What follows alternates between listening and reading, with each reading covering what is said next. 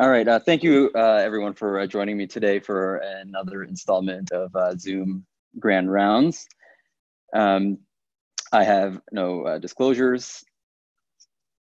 It's uh, very odd um, giving a talk to a remote audience, um, but on the plus side, because I can't see or hear anybody, um, I'm gonna just assume that all my jokes killed. Um, as, as I said, this is, these last few months have been very strange, and you can see how some of us have coped with the stress. Uh, if you're like me, you've uh, gained a few extra pounds these past few months, and uh, now I'm going to give you an opportunity to lose a few of those pounds. Um, what you call your body is a collection of around 40 trillion human cells. Um, there are varying estimates, but uh, we appear to share our bodies with around 100 trillion um, microbial cells. And these combined microbes uh, have a biomass that's around two and a half kilograms. And uh, I like to think that I'm not responsible for those five pounds. Um, and so there you go, you just lost five pounds.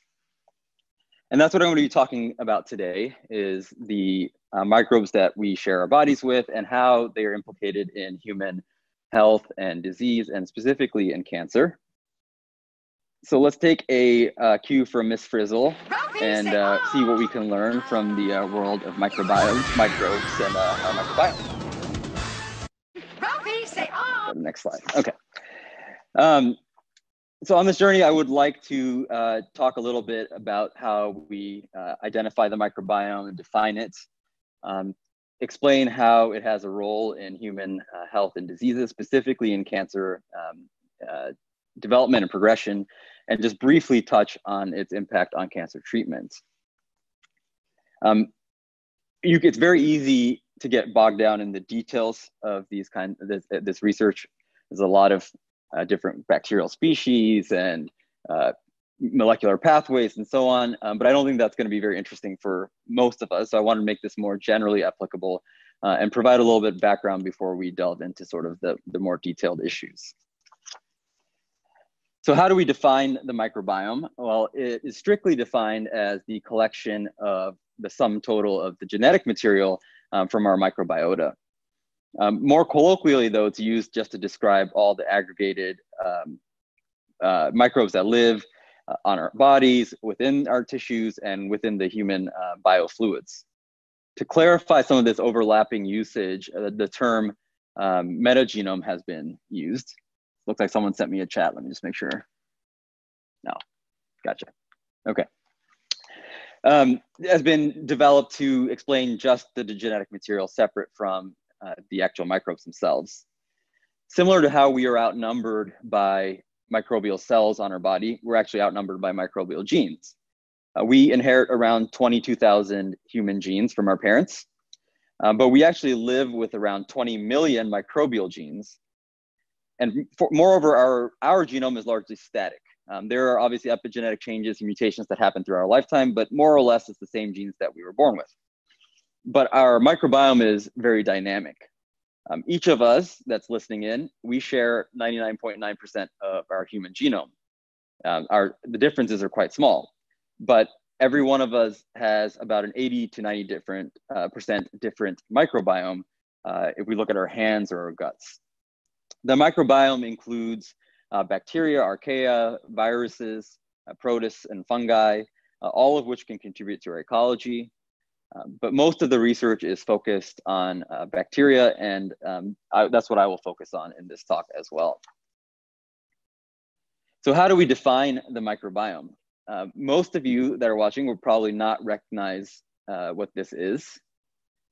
this might help that is actually a working microscope, and that's Anton uh, von Leeuwenhoek, uh, who was a 17th century Dutch microscope maker and considered to be the father of microbiology.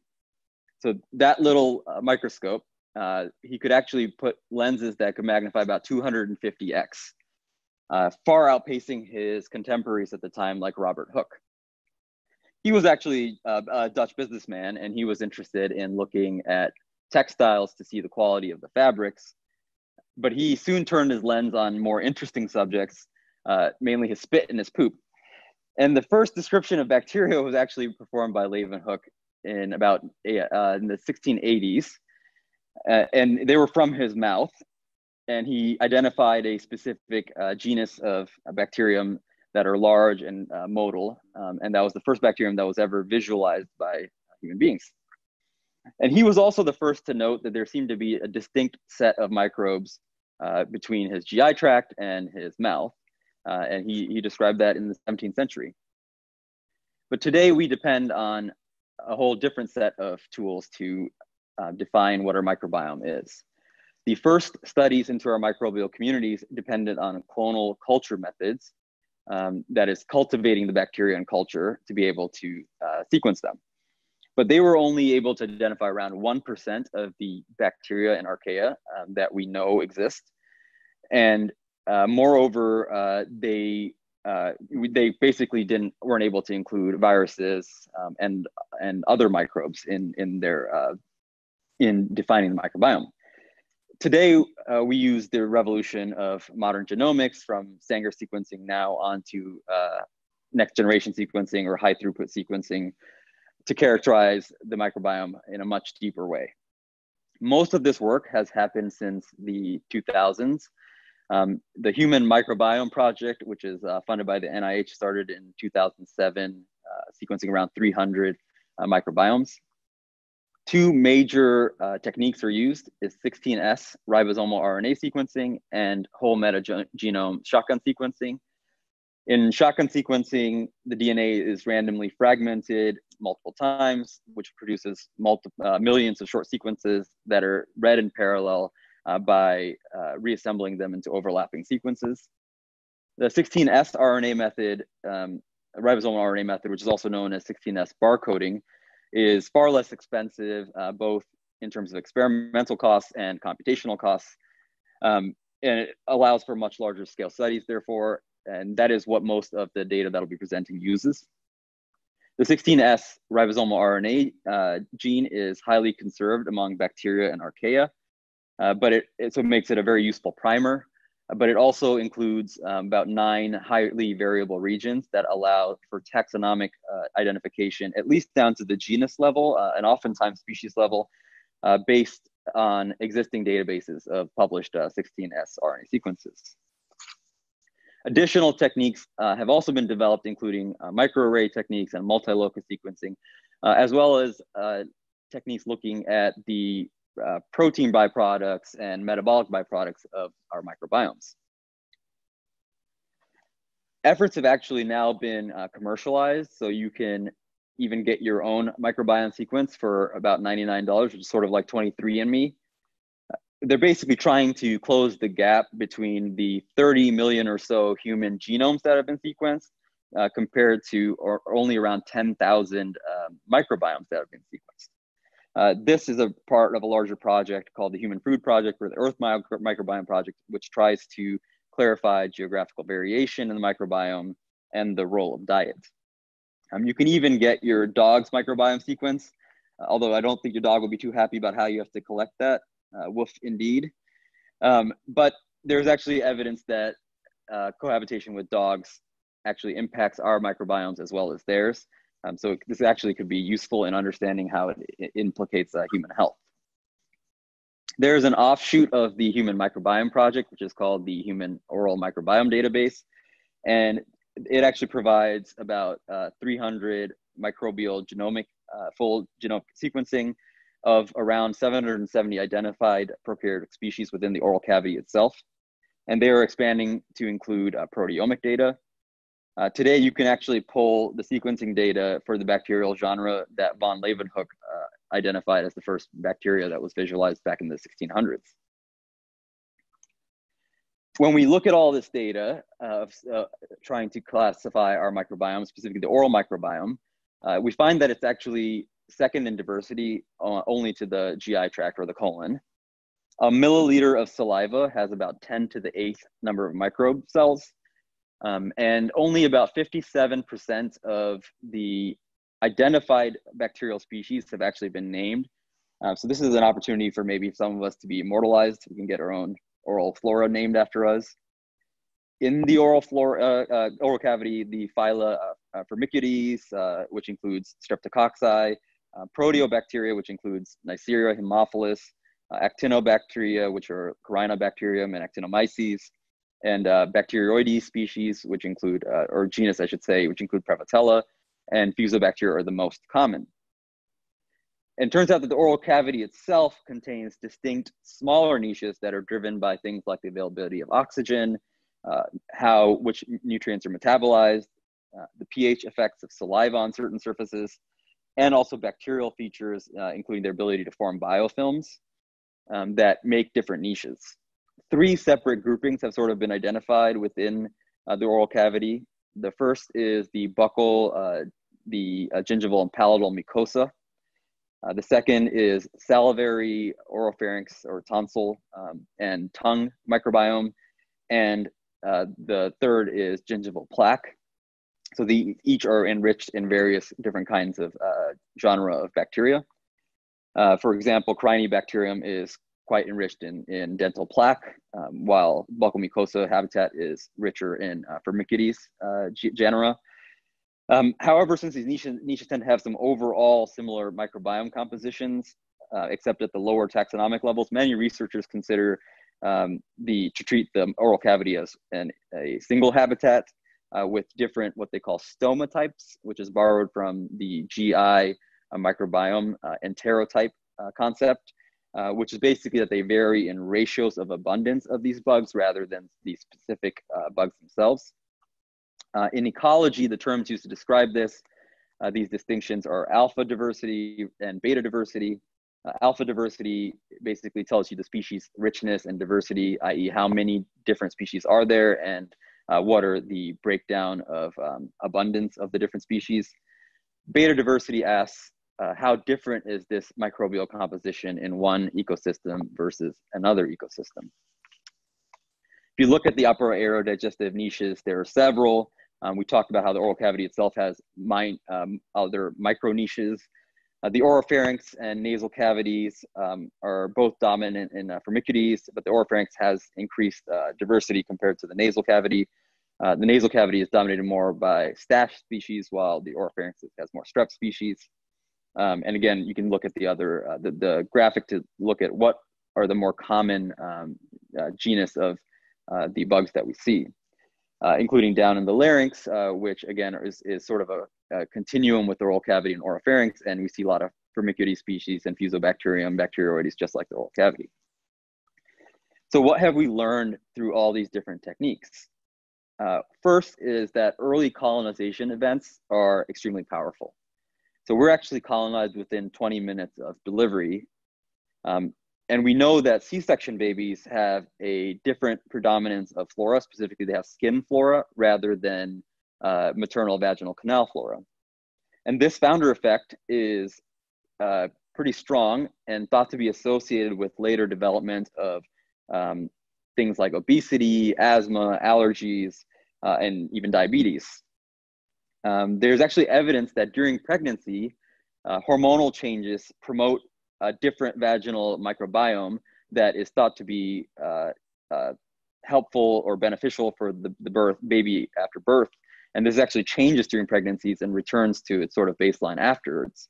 Um, so there's evidence that swabbing newborns with the maternal birth canal flora that are C-section babies may be able to mitigate some of these uh, deleterious effects that are starting to be recognized uh, and to recover some of that lost microbial diversity. Second, if we look at the microbiome over time, so there's that initial uh, colonization event, uh, and then we see that there's a rapid increase in diversity over the first couple of years in life.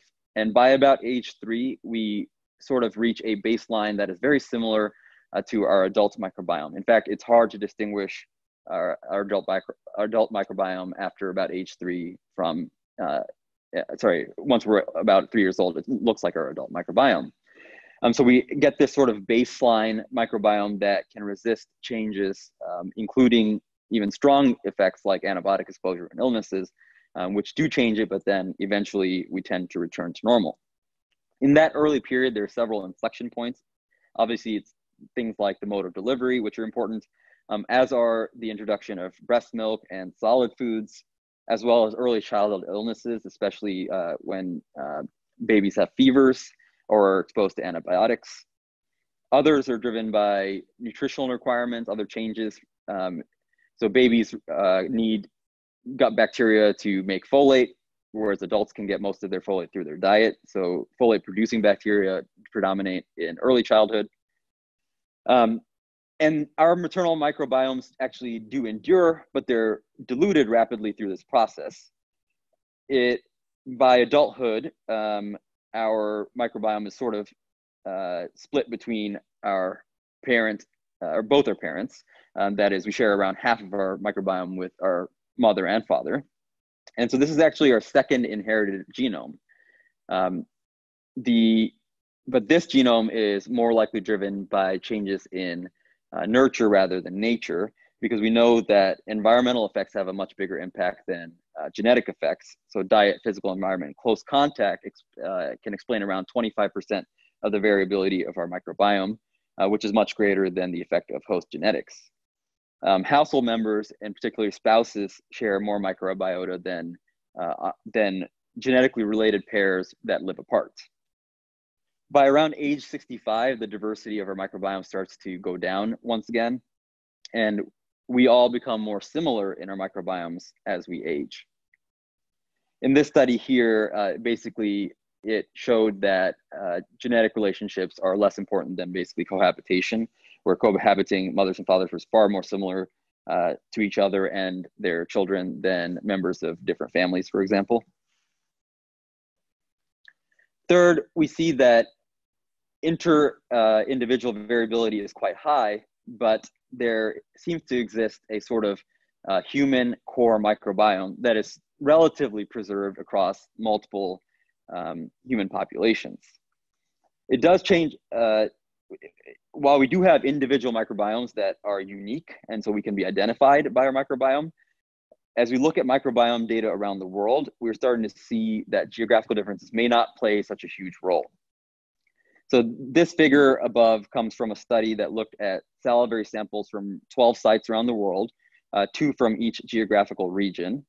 And when you compared individuals from the same sites and same regions, there was greater diversity than when you compared it from necessarily different uh, geographical sites. So basically, individuals from diversity was about the same from individuals in the same location as they were from individuals from different locations, suggesting that um, living in different countries or so on is not necessarily what implicates uh, the diversity of our microbiomes. Finally, what is far, uh, while we do have this core microbiome, it is extremely site specific. So we talked about the oral cavity and upper air niches, and those um, niches are much, much more responsible for variability than even between individuals. So microbiome niches, when they're examined over time, uh, will change, but we can still identify what site they came from. So one study looked at uh, computer keyboards, and they were able to identify not only uh, who was using the computer by swabbing the, the microbes on the keyboard, but even uh, which hand and which fingers were being used to strike different keys. Uh, so this is a different kind of uh, fingerprinting that can be performed through uh, microbial analysis. Ethnic differences also don't seem to uh, dramatically influence the variability within our flora either. In this study from 2016, uh, three skin flora sites were um, sampled from uh, men from six different ethnic groups.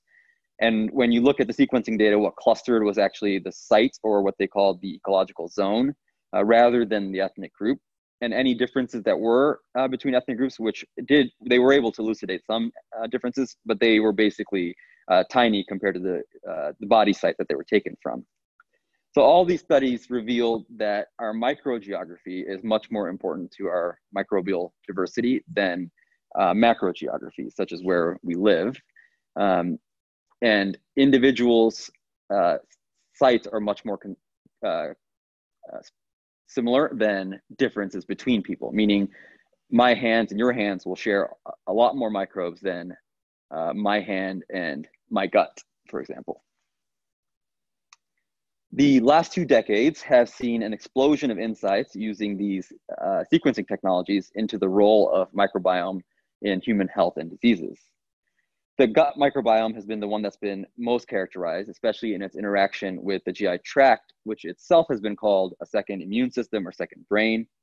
The uh, gut associated lymphoid tissue actually contains about 70% of the immune cells in our body and about 80% of the plasma cell stores. And the enteric nervous system, for example, contains about 100 uh, million uh, neurons, which is more than our spinal cord and peripheral nervous system combined. Um, for example, 80% of the uh, vagus nerve is actually comprised of afferent fiber, fibers that actually are carrying sensory information uh, back to the back from the, the gut primarily back to the brain rather than the kind of things that we think about the vagus nerve doing. Um, so perhaps its role is actually more important in taking information from the enteric nervous system, of the gut. Microbiota, we know, influence several basic biological processes, including the modulation of metabolic phenotypes, uh, regulation of epithelial development, and the driving of innate immunity. Human microbiota actually also perform a function of a physical barrier through competitive exclusion of, of pathogenic bacteria and other microbes, and they produce antimicrobial substances themselves. We know, for example, that germ-free mice um, uh, and other animal models are deficient in several kinds of immune cells, and they have poorly formed lymphoid structures such as spleens and lymph nodes. Infectious disease is, of course, how we most readily recognize the impact of microbes on our health, but alterations in microbiota have been uh, implicated in a whole host of human diseases, uh, including the ones that I've listed here on this uh, site, on this uh, slide. Uh, the oral microbiome also has a significant role, obviously, within localized oral disease, uh, but has been much less extensively characterized than the GI tract. So there's about a thousand papers in the literature about the oral microbiome versus over 5,000 papers about uh, the GI tract. Um, as expected, oral microbi microbiome, uh, microbiomes um, have an impact on local oral health, like oral overgrowth of certain kinds of uh, bacteria have been associated with dental caries, periodontitis, um, as well as oral cancer, which we'll get to soon. Uh, for example, P. gingivalis, uh, but uh, it, sorry, but it actually can play a significant role in other systemic diseases um, through sort of uh, maybe direct linking to the pulmonary tract and uh, distal GI tract, but also through the high rich vascularity of the oral cavity. Um, there are examples, for example, of P. gingivalis, which uh, produces metabolites that can trigger system, systemic uh, cytokine release and uh, drive systemic inflammation. It can that same bacteria has been implicated in the production of amyloid plaques and dysregulation of tau metabolism, and has actually been found in the brains of patients with Alzheimer's. Um, and that same bacterium has even been found in colonizing atherosclerotic plaques, um, and may be associated with uh, cardiovascular disease as well. So we are just starting to learn about how the oral microbiome and the, and the head and neck microbiome in general may be uh, producing and contributing to the conditions that we take care of. So on the left here, we see a study that looked at a Danish study that looked um, at uh, the microbiome uh, of uh, tonsil tissue, uh, both in adults and in children, uh, with either sleep apnea or with uh, tonsillitis. And this study showed that adults who had chronic tonsillitis or recurrent tonsillitis were enriched in specific bacteria like Fusobacterium and Strep intermedius, um, but did not really ever uh, see or rarely saw the bugs that were seen in uh, acute tonsillitis like Strep pyogenes or Staph aureus. The otologic microbiome has been less well characterized. Um, one study looking at children with middle ear effusions found no difference uh, between recurrent acute otitis media and uh, chronic uh, serous otitis media. But that study really looked at uh, three b- bacterium that are common uh, causes of, of uh, acute otitis media, strep pneumonia, H. flu, Moraxella, and 15 respiratory viruses. And they used culture and PCR methods when we look at 16S RNA uh, data of the middle ear and uh, adenotonsillar tissue, studies show that the adenoid and tonsil cluster together and the kind of microbes that live in them. But the adenoid sort of serves as a bridge, meaning it shares some of its micro uh, microbes with the common pathogenic middle ear uh, flora, with which uh, suggests that it may be a reservoir for pathogenic uh, middle ear bacterium, and it supports the role of ad, uh, adenoidectomy in uh, the treatment of uh, otitis, kids with otitis. Sinonasal microbiome studies have looked at, for example, uh, composition between chronic rhinosinusitis participants and healthy controls, uh, which showed things like an increase in Staph aureus and anaerobes in uh, CRS patients. However, a significantly larger number of studies have shown actually that it's just a reduced overall microbiome diversity that's seen in CRS uh, rather than specific pathogenic strains. Um, and it's revealed things like antibiotic use may actually contribute to recalcitrant uh, CRS by fragmenting our healthy microbial communities and further reducing um, the diversity of our sinonasal microbiome. Fewer studies have looked at the laryngeal uh, microbiome, and metagenomic studies have shown reduced microbial diversity uh, and increased relative abundances of strep and helicobacter, uh, among others in smokers, for example. Um, when looking at reflux laryngitis, uh, there was a, a hypothesis that GI tract flora can uh, get up from our gut into our larynx, and that might be a putative mechanism of why we, we develop reflux laryngitis. Uh, but reflux status, when we look at the microbiome, did not seem to impact microbial diversity at the larynx.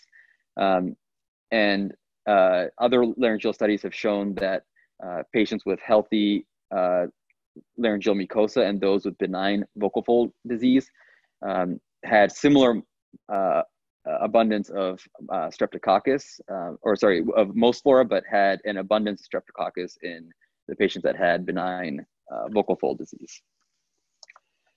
So where are we in terms of understanding how the microbiome impacts our health? Well, our current state is really a characterization of the microbiome composition, and it is just starting to develop mechanistic studies to understand how the microbiome can produce either health or disease. Ultimately, we don't know that there is any single, or we know that there's no single normal or healthy microbiome, but we do know that there is probably a core microbiome with health associated features. That is, it has a high level of diversity, it is resistant to uh, short-term perturbations, but can react by changing and becoming plastic to long-term pressures. It generally produces a beneficial host immune response uh, and provides metabolic mutualism uh, to the host. But we need to move from understanding the structure to uh, a functional understanding of the microbiome.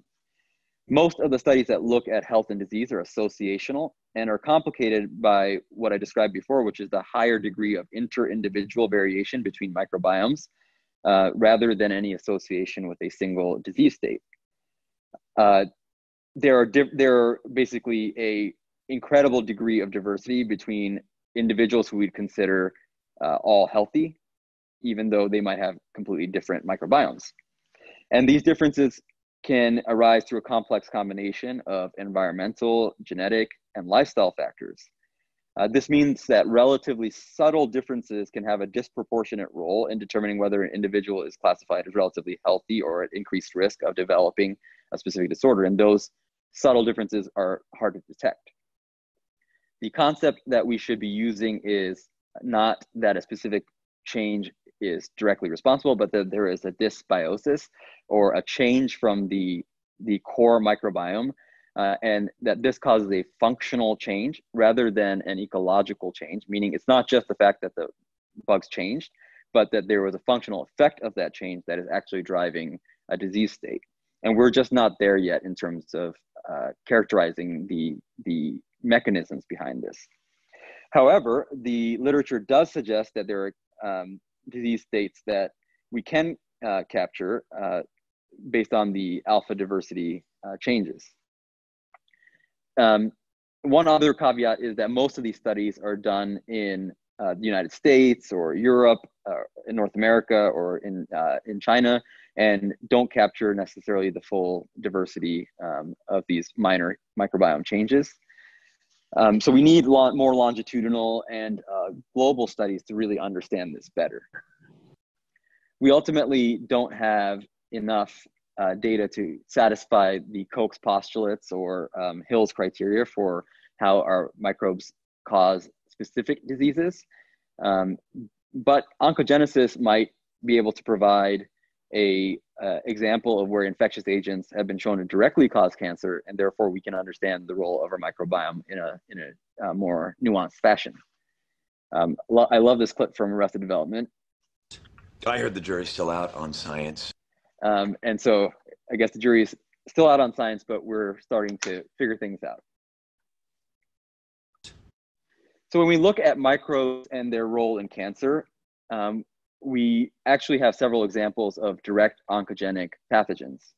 So malignancy is responsible for about one in every six deaths worldwide, and it's expected to increase by about an incidence of 70% over the next 20 years.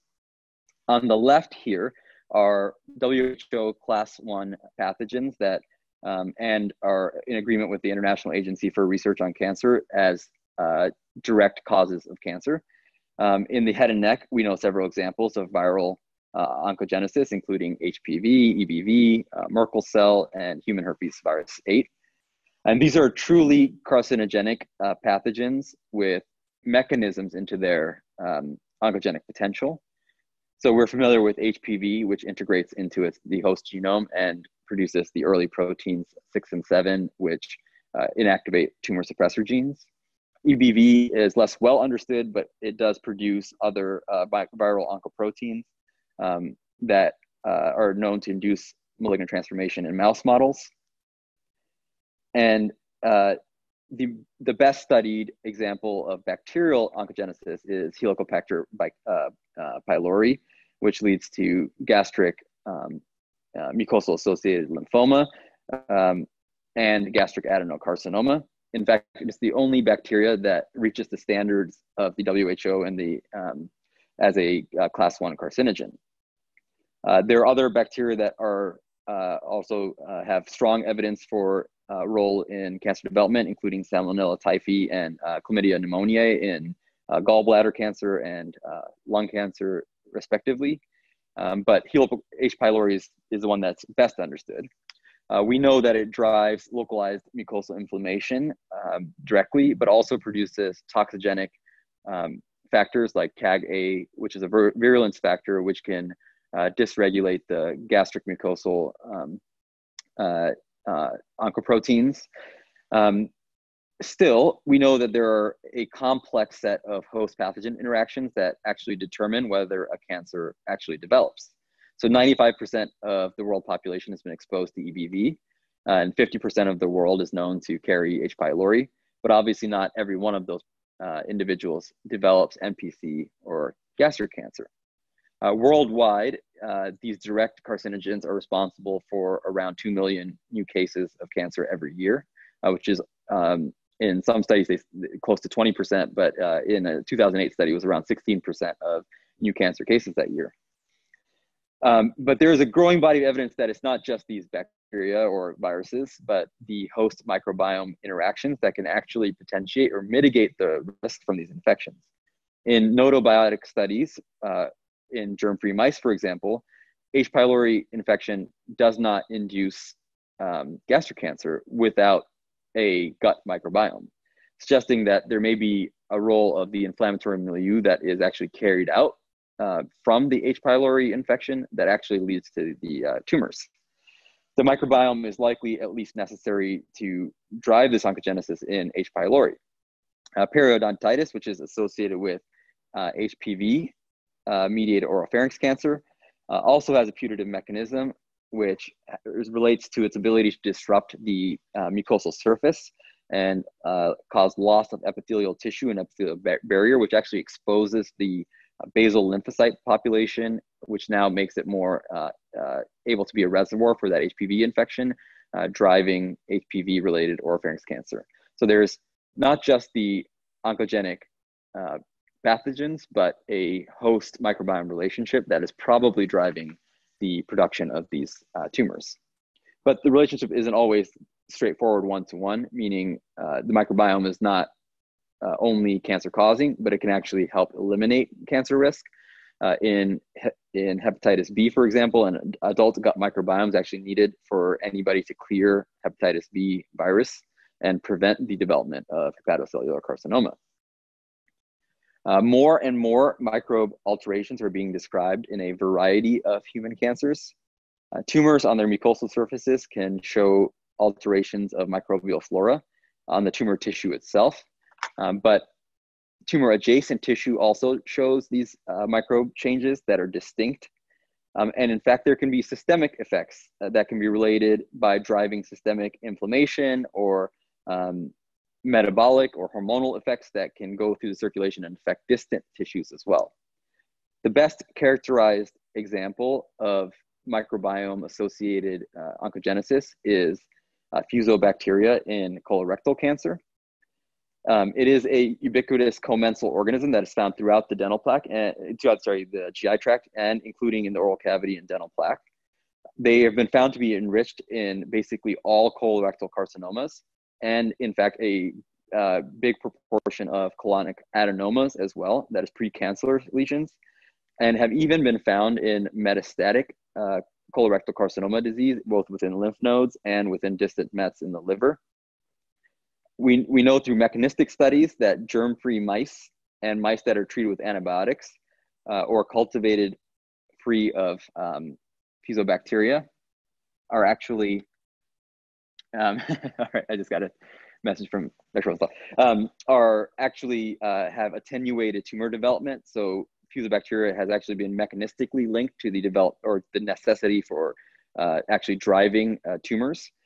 Um, we know in terms of the biological pathways that uh, it produces, uh, expresses FAD-A, which can bind to E-cadherin and uh, trigger upregulation of oncogenes like MYC and cyclin D. Uh, colonization of uh, this bacteria actually can reduce the surrounding gut microbial diversity, leading to altered metabolisms of short chain fatty acids, which have been independently linked to colorectal cancer development. The bacteria can also trigger inflammatory cascades in endothelial cells by its interaction with uh, toll-like receptor signalings. So that's the best characterized example, which is in colorectal cancer.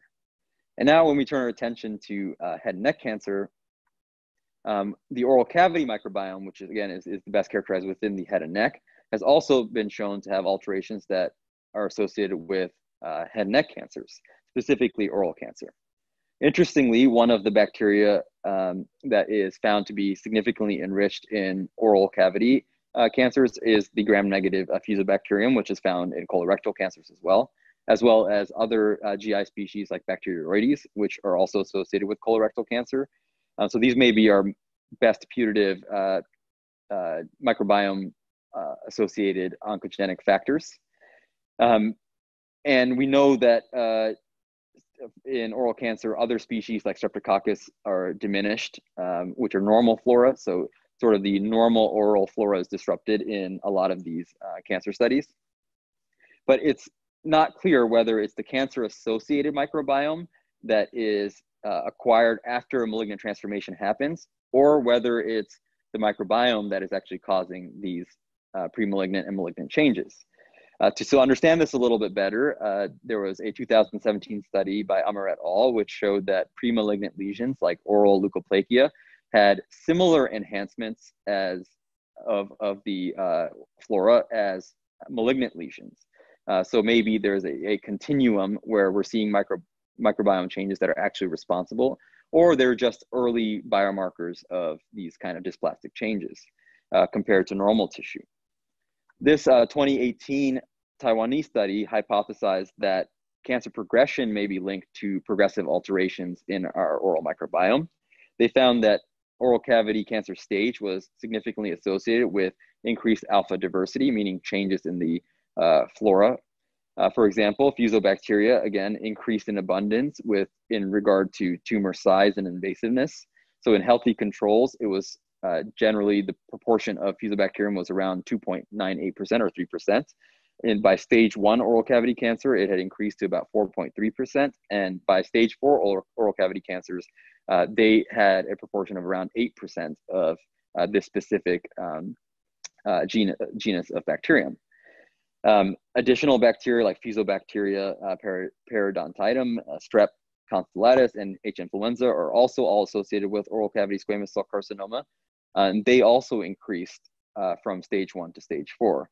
while other uh, genre of bacteria decreased with stage. Perhaps the most intriguing aspect of this study was the possibility of prognostic information from microbiome alterations. By integrating the most significant microbiome changes in just three bacterial species, the Taiwanese group was able to distinguish stage four oral cavity cancer patients from healthy controls uh, in a validation cohort that they uh, checked it against.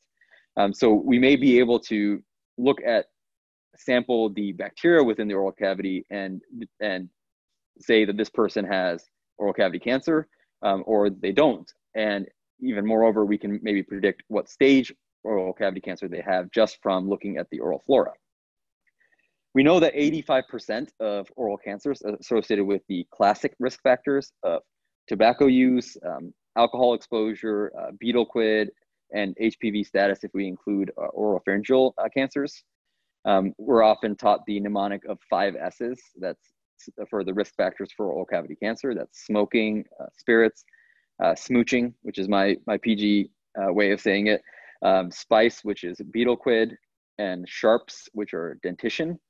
Um, but we may need to be adding a sixth S to that. The the best that I can come up with is strep or maybe sepsis to help remember that.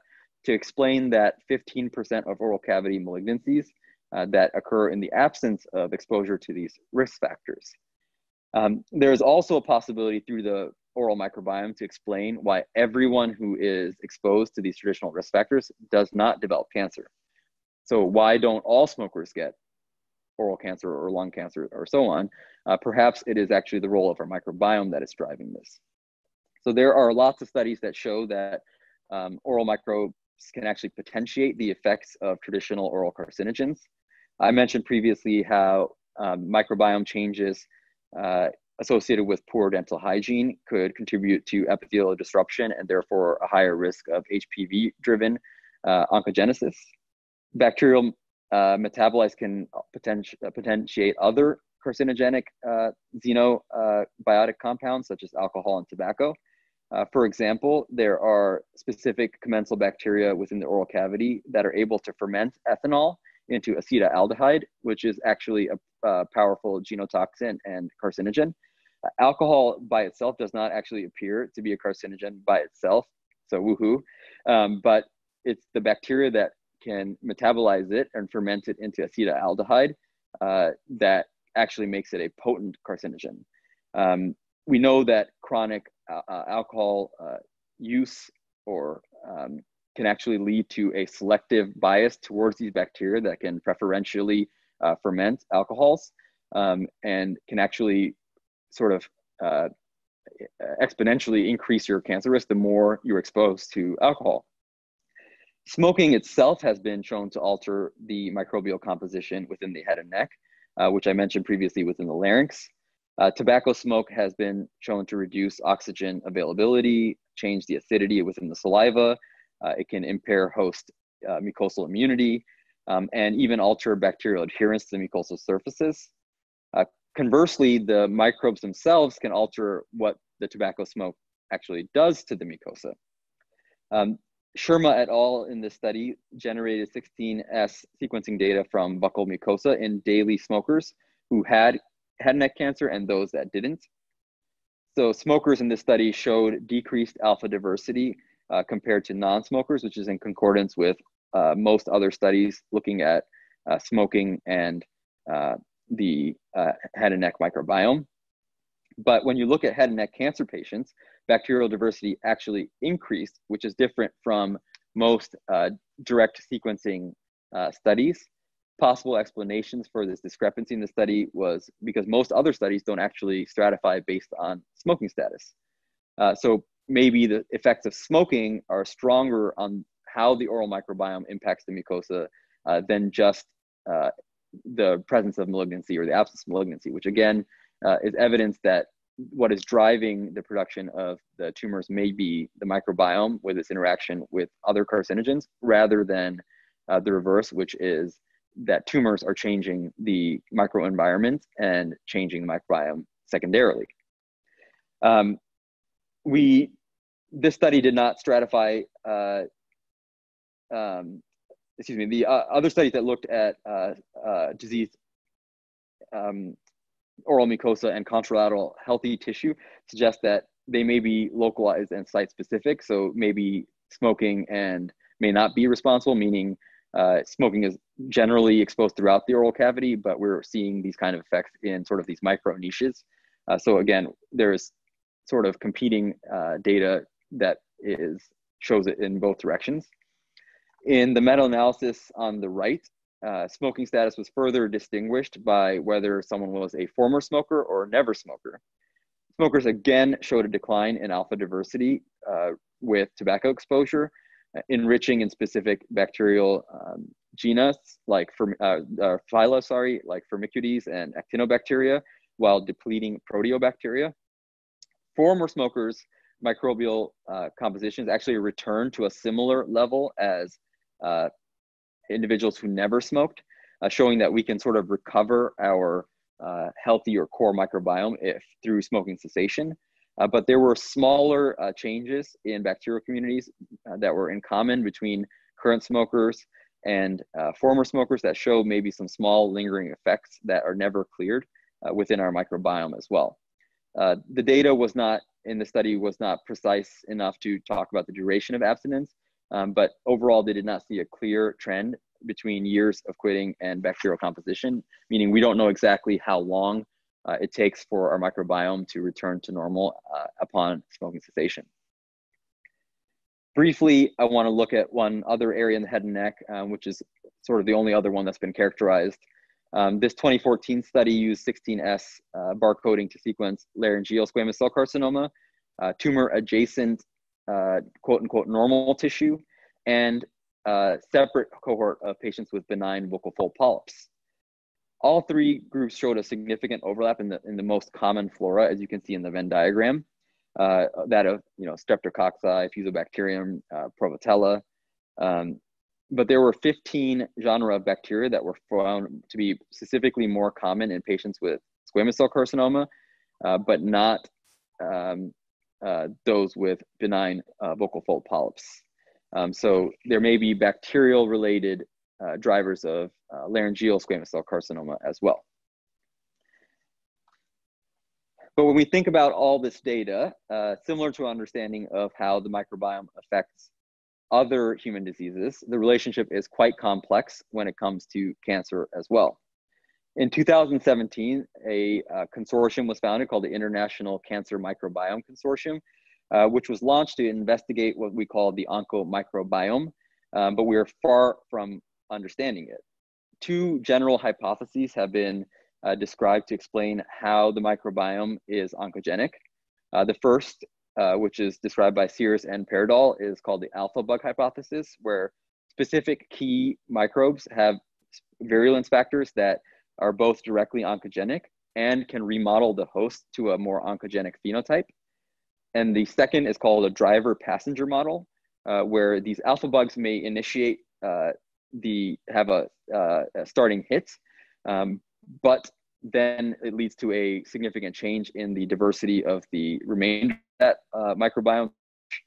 Um, and therefore, when we look at these effects, we might actually be uh, only describing passenger effects that are actually obscuring the underlying causative agents, meaning maybe it's microbe A that actually is triggering all the microbe changes, microbiome changes that we're actually capturing.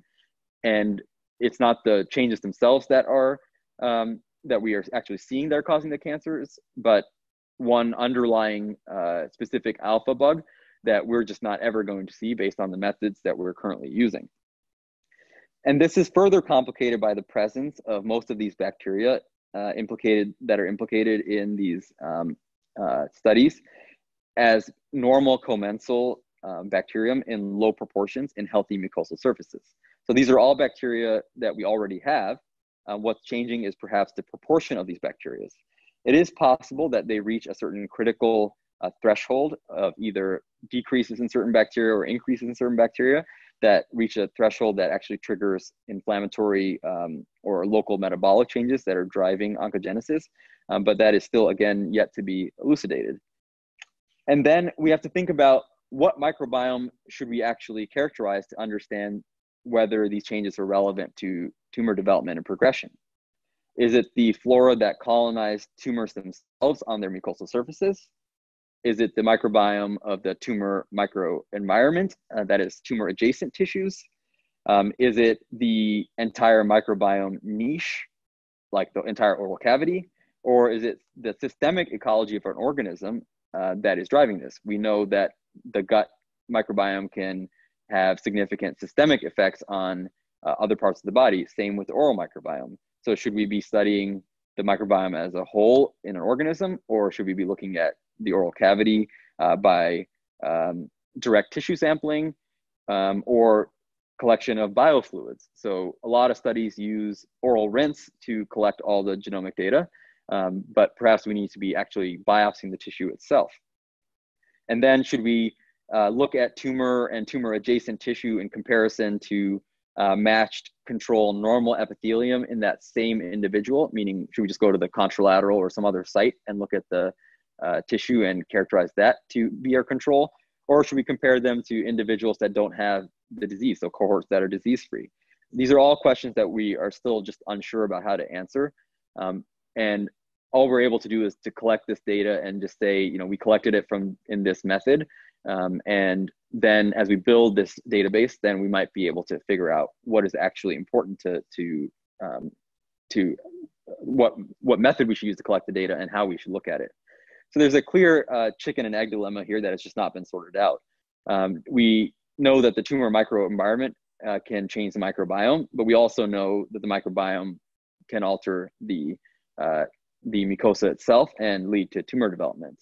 Uh, we may not be able to answer this question yet, but like I uh, described earlier, there are changes that we see in precancerous or um, or dysplastic lesions that sort of mimic uh, the true uh, carcinomas, uh, which may mean that these are early changes that are happening that are driving this, or that they are biomarkers for uh, these dysplastic changes. What is ultimately exciting to me and i think to um, you know cancer biologists and oncologists is potentially at this stage to use the microbiome as uh, a powerful biomarker for cancer development and progression so the microbiome of tumor adjacent tissue can be altered compared to truly what we call healthy uh, epithelium that is not altered at all and that these changes may actually precede histological changes that we can see so the microbiome changes, whether or not they are a passenger effect or a driver, uh, may change earlier than even the histology shows us. So we may be able to capture um, early changes in a way that in that is easy to capture with uh, you know brush um, bi- sort of brush biopsies or oral rinses that we don't even need biopsies, tissue biopsies to to um, find. Um, and finally, it may play a role in how we might do in vivo imaging of uh, tumors and dysplastic lesions uh, because we can use the microbiome uh, microbiota to sort of stain the tissue and map tumor, tumor margins perhaps. Finally, I want to briefly touch on how the microbiome plays a role in the um, responses to cancer treatments. Microbes, as we have seen, have been responsible for nearly 20% of cancers worldwide, but they also have provided a host of cancer treatments. So bacterial products can actually regulate cellular proliferation and can have potent tumor anti-tumor properties. So many chemotherapies that uh, you can see listed here, like mitomycin um, and the um, uh, the rubicin drugs, are actually bacterial products. Most of them from strep species that have potent um, anti uh, uh DNA uh, synthesis effects or proliferation effects in in uh, human cells. Um, cancer therapeutics actually, at its very foundation, had a grand insight about microbes' in fact, impact on tumors. So, uh, pictured here in the middle is uh, William Coley or William Coley, who was an orthopedic surgeon at Memorial Hospital in New York uh, at the turn of the 20th century. Uh, in this photo, he is actually standing in front of another hospital, which is now the Hospital for Special Surgery. But back then, uh, and you can't make this up, was called the Hospital for Ruptured for the Ruptured and the Crippled. Um, well, in the 19, 1890s, frustrated with outcomes on of sarcoma patients that were not responding to surgery, he started investigating additional uh, uh, therapeutic modalities and uh, looked at the injection of bacterial agents into patients to trigger a septic response to drive what we understand now was an immune attack on, on tumor cells. Uh, this was actually previously reported. Uh, the, the Mayo brothers, who famously founded Mayo Clinic, were uh, also using these kind of techniques. And um, even Anton Chekhov, who uh, was himself a physician, had noted this observation in a letter he wrote to a friend in 1890, explaining how infections could drive the, the receding of, of tumors. Um, but what Coley did, which was really important, was to keep meticulous records of which bacteria was able to produce these high fevers that were necessary to uh, produce the effect. Uh, and he made a mix of strep and other species uh, that we uh, that was called Coley's toxin and what we call Coley's toxin. Uh, he was unfortunately uh, almost discarded to the dustbins of history for almost a century because his peers didn't really believe him. Uh, he was so meticulous in how he did it that he was able to produce at least somewhat reasonably uh, uh, reproducible effects, but other uh, his peers could not do that, and so they just didn't believe him. And we also have to remember what was going on at that era, because in 19, uh, 1895, uh, which was around the time he was doing these experiments, Becquerel had described X-rays. Um, and he and the Curies would later go on to win the Nobel in 1903 uh, for the discovery of radiation. And shortly after that, uh, the use of radiation for the treatment of uh, tumors. Uh, this became heavily favored, uh, especially um, by Coley's boss uh, at that time, who was um, James Ewing of Ewing sarcoma fame, um, who really favored radiation therapy because it was reproducible, um, but also you have to even think about sort of business impacts because he was funded by mining industrialists who did not mind promoting uh, radium as a treatment for uh, cancers. Um, today, we have a very important prize in cancer immunology that's actually named after him. Um, and he is considered to be the father of, of cancer immunology. And he ha already had found this insight into how microbes may impact um, uh, cancer response, whether it's mediated through our host uh, immune system or not. Modern insights into the microbiome infect, uh, affecting how uh, chemotherapy, uh, uh, how patients respond to chemotherapy actually came from observations in uh, of reduced therapeutic effects in germ-free mice and mice that are treated with antibiotics, broad-spectrum antibiotics. So even traditional agents like cyclophosphamide and platinum drugs have been shown to be less effective in mouse models where they don't have a microbiome or are treated with uh, uh, simultaneously with antibiotics. And this is especially true for the emerging field of immunotherapies. We know that any enterically uh, delivered medication is going to in interact with our gut microbiota, of course. Um, but perhaps the most provocative data suggesting the importance of this com commensal microbiota comes from um, the uh, uh, use of PD-1 uh, therapies in, uh, in um, different kinds of uh, tumors. So a decrease in the commensal core microbiome populations was correlated to a worse patient survival in patients treated with these checkpoint inhibitors. furthermore, and mechanistically, fecal transfer from mice that were responders to immunotherapy uh, to mice that were non-responders could, and vice versa, could actually switch the phenotype of the mouse. So we could make a mouse more responsive to uh, immunotherapies by just changing what gut microbiota they had. Uh, in human studies and in mice studies, we know that uh, in melanoma, responses to uh, ipilimumab um, and PD-1 inhibitors like uh, Pembro uh, corresponds to certain kinds of gut genotypes and gut microbiomes. Um, and in head and neck cancer therapies, based on you know, the checkmate and the keynote studies, uh, anti-PD, anti-PD-1 antibodies are becoming a standard of care in sort of treatment refractory head and neck uh, cancer patients. And a sub-analysis was actually performed in the checkmate trial, um, trying to correlate bacterial diversity and clinical response. And it was largely inconclusive, but there are efforts within head and neck cancer to understand whether we can predict and also alter which patients are actually responding, uh, res responding to these treatments. A trial is actually underway at Princess Margaret Cancer Center in Toronto to prospectively uh, assess this in both looking at both oral and intestinal microbiota in uh, head and neck cancer patients that are being treated with definitive chemoradiation. The oral microbiome has also been shown to influence cancer uh, treatment side effects as well. Uh, we know that the dysbiosis of the oral mucosal microbiota can actually aggravate uh, mucositis from chemotherapy uh, or radiation therapy. And it has been, uh, it's being uh, assessed whether we can help mitigate those uh, by changing the, the microbiome environment.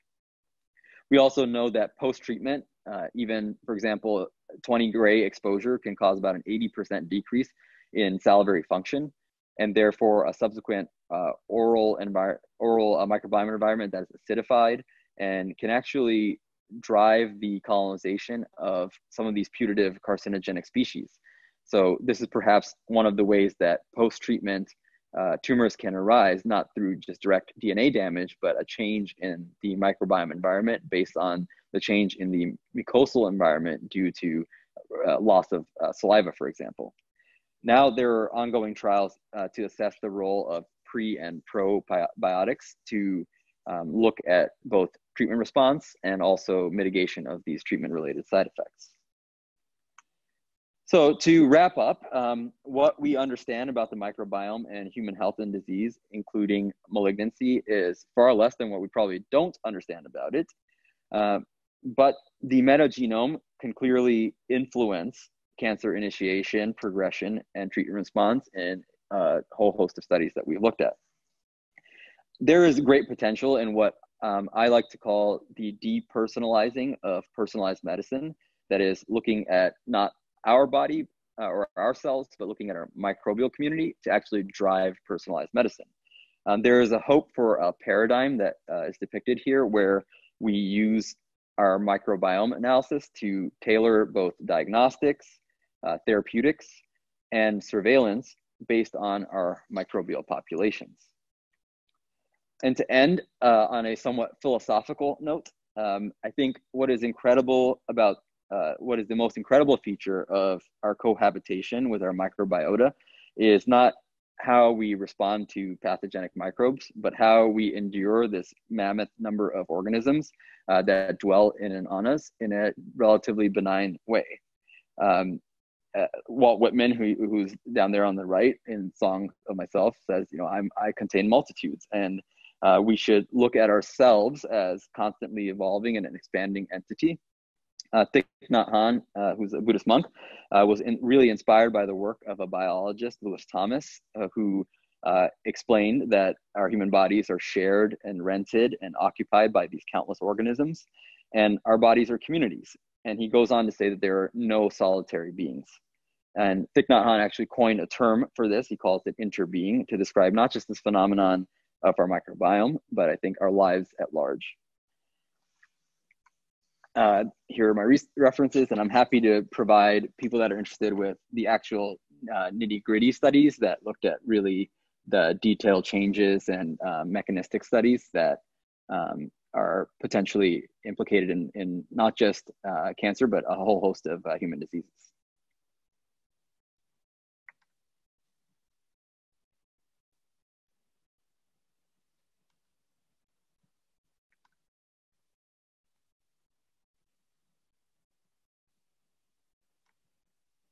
Happy to take any questions if there are any. Otherwise, it's already seven, so I, people can head out. Very well done, Varun. Very well done.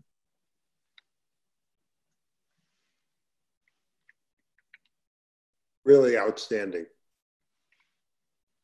And I love the way you brought some history in too. Yeah. Makes George feel right at home, right, George? did, he, That's did you right. Recognize, Remember, did you recognize the uh, first microscope? Dr. Yes, I, sure. I have been there uh, to. His... I studied under him. I studied under him. Everybody stay safe, stay healthy, please. Yeah. All right. All right. Take care. Thanks again. Thanks, everyone.